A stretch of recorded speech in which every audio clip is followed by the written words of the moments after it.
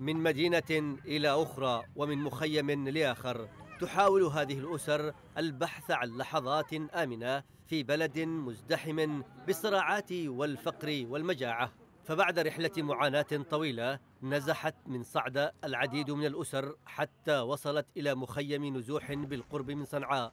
لقد هربت النساء وأطفالهن من الموت برصاص ميليشيا الحوثي وقصف طائرات التحالف.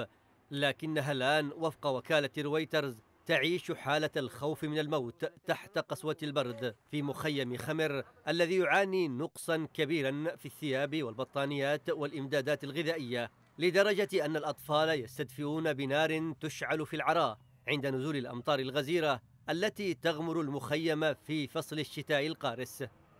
منظمات الإغاثة تحاول وضع تحسينات متواضعة لمخيمات اللاجئين لكن أغلب هذه المخيمات لا تتمتع بالكثير من الأمان. فالقتال يدور على بعد عشرة كيلومترات من بعضها كما هي رواية مجلس اللاجئين النرويجي لرويترز. كما أن وعورة الطبيعة الجبلية ونقص المال وانقطاع الكهرباء عوامل تضاعف من معاناة النازحين الذين فروا من ديارهم هربا من المعارك.